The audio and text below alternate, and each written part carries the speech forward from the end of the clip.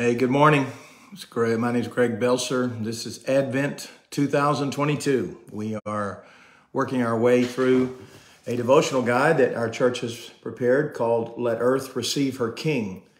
And today we are on day 18, and our devotion has been authored by Dr. Jerry Rankin. We love Dr. Rankin. He and his wife, Bobbye, are uh, very faithful members of our church. We're grateful for them. Uh, Dr. Rankin, of course, the retired president of the International Mission Board. And uh, no small thing to uh, hang around Dr. Rankin and enjoy uh, the many years of experience and wisdom that God has given him. So he will provide our devotional thoughts momentarily. First, we'll read Matthew chapter 2, verses 1 to 12. Now, after Jesus was born in Bethlehem of Judea in the days of Herod the king, behold, wise men from the east came to Jerusalem, saying, Where is he who's been born king of the Jews? For we saw his star when it rose and have come to worship him. When Herod the king heard this, he was troubled, and all Jerusalem with him.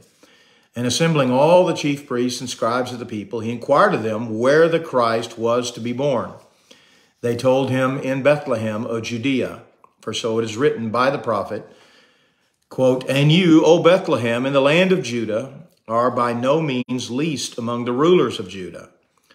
For from you shall come a ruler who will shepherd my people Israel. Unquote.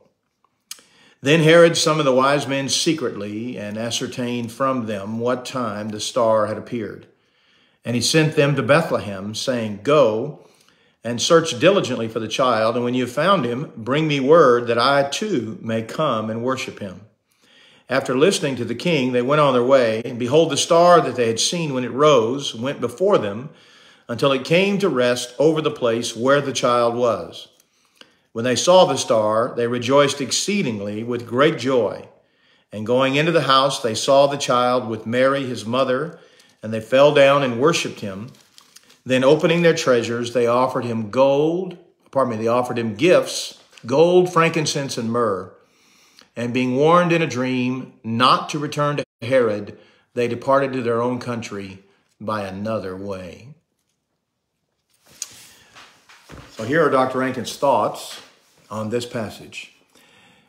There's a great deal of obscurity and intrigue in the narrative of these magi from the east, who are sometimes even referred to as kings. They were not Jews, but as scholars and astrologers, they must have been acquainted with the Jewish scriptures and prophecies.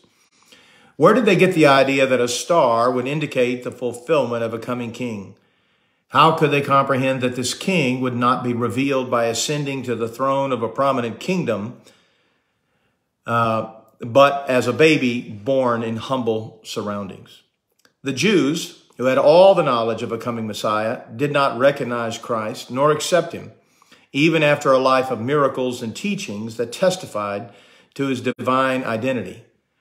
John 1:11 says, quote, "He who came to his own and his own people did not receive him."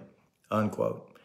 Yet there were foreigners who made a long perilous journey to find him and recognized that this baby was worthy of worship, God himself who had come into the world. Certainly, being rewarded with finding the object of their search in a remote village after their travel over inhospitable terrain, and the deception and conspiracy of Herod brought great joy to them. In fact, Matthew 2.10 expresses this with a double superlative. Quote, they rejoiced exceedingly with great joy. Close quote. Note their joy did not come when they arrived at their destination, but when the star appeared before them. Apparently, the star was not a constant guide on their journey. Why did they rejoice? Because it was the star that would lead them to Jesus. Could this not be a metaphor for what led you to know Jesus?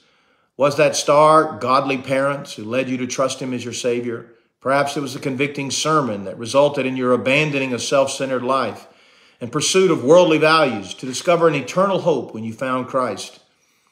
God is still providing a star his divine leading to guide us to Christ.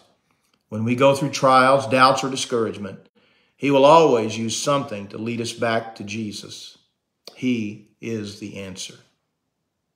Indeed, he is. Thank you, Jerry, for that uh, devotional this morning. We're grateful. I would uh, commend to you an awareness that uh, God from the beginning is leading people to Jesus. And he does so in ways we understand, ways we can forecast perhaps, and then in many ways that we cannot. We have no way to explain. So no matter how God has led you or God is leading you, I hope today you see the hand of the Lord in your life in the past and in the present and trust that he will continue to lead you to Christ. And if you are here today uh, considering this devotional, I pray that you would worship Christ and he would be indeed the Savior of your own heart and life. May God give you grace in that. Let me pray for us. Father, thank you for the grace you've given to lead us to see Jesus. You didn't do that for us with a star. You certainly did that with the wise men, the magi of Matthew 2. But you, as Dr. Rankin has reminded us this morning, uh, uh, still lead people to Jesus in a variety of ways. And we're thankful. We pray that as we reflect on that, we will be driven to even greater worship of you, gratitude and thanksgiving for what you've done. Thank you for the coming of Christ and for the coming again that will soon happen. We love you and we thank you for your mercies today.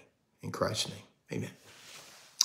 Well, I hope you have a good day. Enjoy this Advent season.